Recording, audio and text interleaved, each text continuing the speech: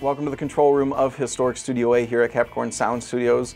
We're going to talk about our analog soundboard. It was custom made for us by a company called API.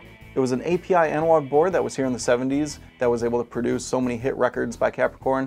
So we thought it was only fitting to work directly with API and they custom built us this board here. So right now it's the only one in the world built out to these specs and it was built specifically for us here at Capricorn uh, to emulate that original Capricorn tone and sound. And they've done a wonderful job building this out for us uh, and we truly love working on this wonderful piece of equipment.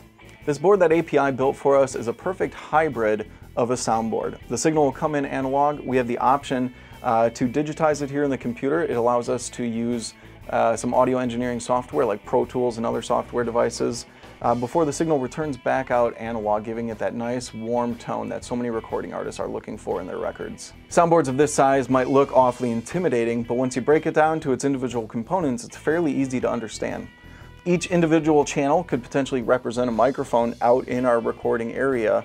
Uh, and with that said, all you need to do is become familiar with an individual channel and then it repeats itself throughout the entire board. So some buttons refer to the panning, whether it comes out of the right or left side of the stereo. Uh, and other buttons are uh, compression and EQ and other effects that we can add to a track in the mixing process uh, such a wonderful piece of equipment and musicians from all over the country come here just to record on this soundboard here in such a historic recording studio.